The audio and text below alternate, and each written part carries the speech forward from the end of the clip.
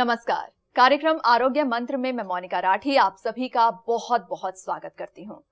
दोस्तों, आपने ये तो सुना ही होगा कि निरोगी काया सबसे बड़ी माया। और ये निरोगी काया ही होती है जिसके ज़रिए आप अपने जीवन की हर छोटी से लेकर बड़ी खुशी का आनंद ले पाते हैं। पर कई बार हमारी इस काया में, हमारे इस शरीर में बहुत सी बीमारियाँ आ जाती हैं। और उन बहुत सी बीमारियों की कई बार शुरुआत होती है हमारे डाइजेस्टिव सिस्टम के खराब होने से।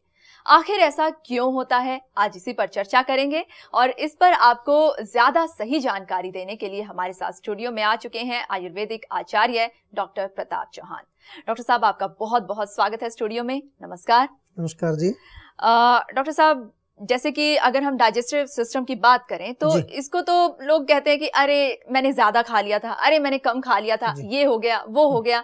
पर क्या सिर्फ़ खाना ज़्यादा लेना और खाना कम लेना यही एक रीजन होता है इसके खराब होने का या फिर कुछ और भी रीजन हो सकते हैं? देखिए बहुत सारे रीजन होते हैं और आपने अक्सर सुना होगा ऐसा कहते हैं सभी रोग पेट से शुरू होते हैं। हाँ। और इसको जो है लोग आम तौर पर जो है बहुत ज़्यादा तवज्जो नहीं देते हैं इस सेंटेंस को। हम्म। और फिर भी खाने पीने पर जो है हमारे जो नियम है खाने पीने के उस पर जो है वो ध्यान नहीं देते हैं। हमारा जो डाइजेस्टिव सिस्टम है जिसको कि हम आयुर्वेद में पाचन संस्थान कहते हैं ये पूरा मुँह से लेकर के और मल द्वार तक पूरा एक जो कई ट्यूब लाइक स्ट्रक्चर से बना हुआ है। सबसे पहले भोजन की नली ईसोफेगस जिसको बोलते हैं, फिर हमारा पेट है स्टमक फिर उसके बाद डिओडनम आता है, फिर छोटी आंत आती है, बड़ी आंत आती है, उसके बाद जो है हमारे जो पेनक्रियाज है, हमारा जो लिवर है, वो भी इसी के साथ जुड़ा हुआ है, क्योंकि उसमें भी कुछ ऐसे रस बनते हैं, पाचक रस, जो पाचन में जो है सहायक होते हैं। तो जितना भी जो ऑर्गन्स हैं हमारे जो पाचन से रिलेटेड हैं उनको हम डाइजेस्टिव सिस्टम सिस्टम के अंडर कंसिडर करते हैं। और ये पूरा सिस्टम इसलिए इम्पोर्टेंट है कि जो भी हम खाना खाते हैं वो खाना केवल जीव के लिए नहीं खाते। हम्म, हम्म। खाना हम इसलिए खाते हैं कि हमारे शरीर में हमारा जो मसल्स हैं मांस मांसपेशियाँ हैं हमारी हड्डियाँ हैं खून है हमारे जो और जो धातु हैं सारे वो अच्छे मज़बूत बने। अगर धातु मज़बूत होंगे तो हमारा शरीर स्वस्थ रहेगा। अगर धातु कोई भी कमज़ोर होगा, खून कम होगा तो अनीमिया हो जाएगा। हड्डियाँ कमज़ोर होंगी तो ऑस्टियोपोरोसिस हो जाएगा। अनेक प्रकार की जो बीमारियाँ हमें हो जाती हैं, उसमें कहीं ना कहीं हमारा जो डाइजेस्टिव सिस्टम है, वो बहुत महत्व रखता है। भोजन तो हम खा लेते हैं, लेकिन भोजन का क्या अंदर होता है, वो डाइजेस्टिव सिस्टम को समझने से ही आपको समझ आएगा। आज इसी के बारे में थोड़ा विस्तार से बात करेंगे कि क्या कारण है कि हमारा डाइजेस्टिव सिस्टम खराब हो जाता है। और कैसे उनका हम उपचार कर सकें तो थोड़ा आप ध्यान से सुनते रहिए। आज इस विषय पर हम विस्तार से चर्चा करने वाले जी, डॉक्टर साहब, हम इस पर ज़रूर चर्चा करेंगे। फ़िलहाल अपने दर्शकों को बता दूँ, एक ऐसा नंबर जिस पर आप अपनी कॉल रजिस्टर करा सकते हैं और जीवा की पूरी टीम से आप बात कर सकते हैं। जीवा के सभी डॉक्टर्स आपकी पीड़ा को सुनने के लिए, आपकी समस्या को सुनने के लिए हमेशा तत्पर रहते हैं। जल्दी से नंबर नोट कीजिए। नंबर है ज़ीरो एक ऐसा नंबर है जिस पर आप अपनी कॉल रजिस्टर कराइए और जीवा के डॉक्टर्स खुद आपको कॉल करेंगे। ना केवल आपकी समस्या सुनेंगे, बल्कि उसका सही ट्रीटमेंट उसका सही समाधान भी आपको बताएँगे। डॉक्टर साहब अभी हमारे साथ एक और दर्शक जुड़े हुए हैं उनसे बात करते हैं। आपका बहुत बहुत स्वागत है कार्यक्रम में नमस्कार। हेलो। जी। हेलो आप अपना सवाल पूछिए। जी मैं सुनीता बोल रही हूँ मेरी एज ट्वेंटी फाइव है और मुझे मॉर्निंग में हेडेक होता है बहुत। अच्छा मॉर्निंग में हेडेक होता है? देखिए हेडेक जो है, वो बड़ी कॉमन सी समस्या है और हेडेक के बहुत सारे कारण होते हैं। आयुर्वेद की दृष्टि से अगर हम देखें तो कब्ज़ की वजह से भी हेडेक होता है, रात को नींद प्रॉपर ना आए, उसकी वजह से हेडेक हो सकता है, जुकाम से हो सकता है, बुखार से हो सकता है किसी किसी को तो ऐसा भी होता है, बहुत ज़्यादा ह्यूमिडिटी हो बारिश वारिश का मौसम हो, बादल छाए हुए, उसमें हेडेक हो जाता है। आयुर्वेद में भी बहुत प्रकार के हेडेक्स लिखे हैं सिरशूल के नाम से ये रोग लिखा हुआ है और काफ़ी अच्छा डिस्क्रिप्शन है।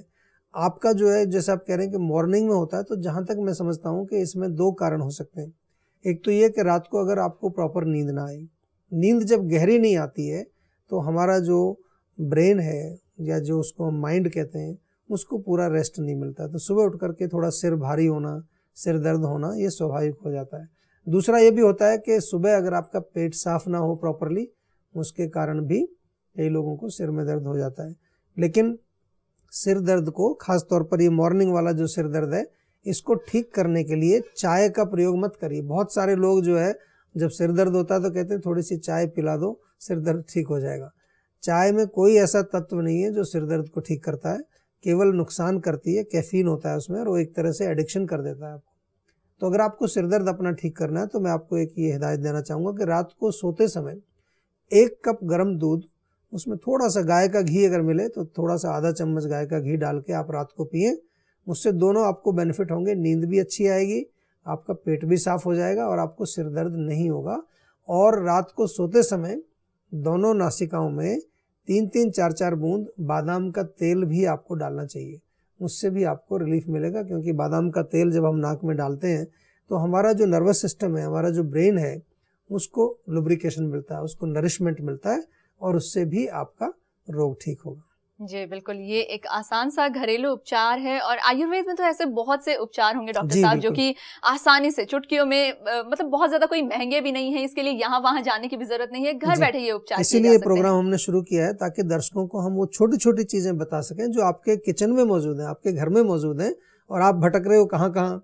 हॉस्पिटल्स के चक्कर खा रहे हो डॉक्टर्स के चक्कर लगा रहे हो। और रोग भी ठीक नहीं हो रहा है। अभी डॉक्टर साहब एक और दर्शक हैं हमारे साथ उनसे बात करते हैं। बहुत बहुत स्वागत है कार्यक्रम में नमस्कार। जी आप अपना सवाल पूछिए। हेलो। हाँ जी सर मैं ललित बोल रहा हूँ मेरी उम्र 25 साल है। जी। आ, सर मेरी प्रॉब्लम ये हो रही है कि मैं पिछले तीन महीने से अपनी गर्दन में दर्द से परेशान हूँ। गर्दन दर्द जो है उसके बहुत सारे कारण होते हैं। हम आयुर्वेद की दृष्टि से आपको बताते हैं। आज के जो युग में बहुत सारे लोगों को कहते हैं, जी, मुझे सर्वाइकल स्पॉन्डलाइटिस हो गया है। तो मुख्य कारण उसमें जो हमने देखा कि पोस्चर से रिलेटेड है। खास तौर पर जो लोग डेस्क का काम करते हैं, आजकल कंप्यूटर पर भी काम करते हैं तो वो जो गर्दन उनकी है, वो ऐसे झुका के बैठते हैं आगे की तरफ़।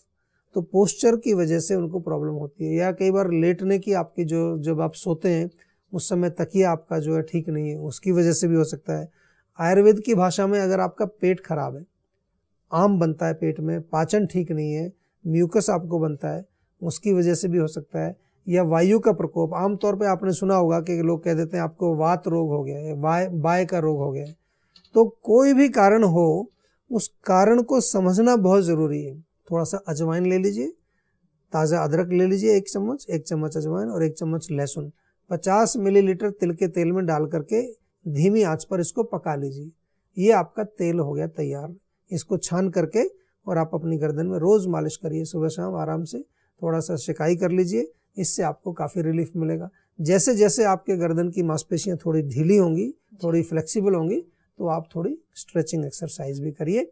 लेकिन अगर रोग पुराना हो गया है बहुत सारे लोगों को डॉक्टर लोग एमआरआई वगैरह करके बताते हैं भाई आपकी डिस्क में प्रॉब्लम आ गई है आपकी नस दबी हुई है।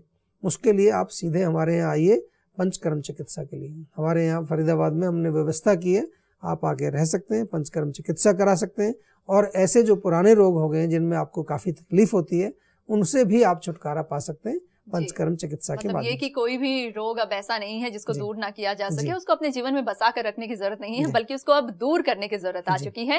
फ़िलहाल यहाँ पर हम रुकते हैं एक छोटे से ब्रेक के लिए आप कहीं मत जाइएगा जल्द हाजिर होते हैं।